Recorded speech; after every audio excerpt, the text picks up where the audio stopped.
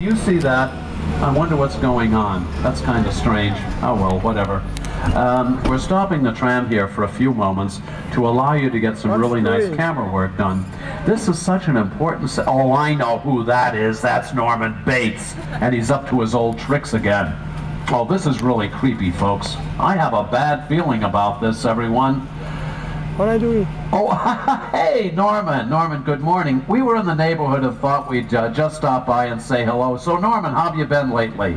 Apparently not too well. Okay, well, uh, I think we've overstayed our welcome, and it's time for us to check out of the Bates Motel. So, Norman, we'll see you later. Always good to see you. And, Norman, have a nice day. Whoa! Let's take a look at another impressive movie set, the spectacular crash site from Steven Spielberg's War of the Worlds.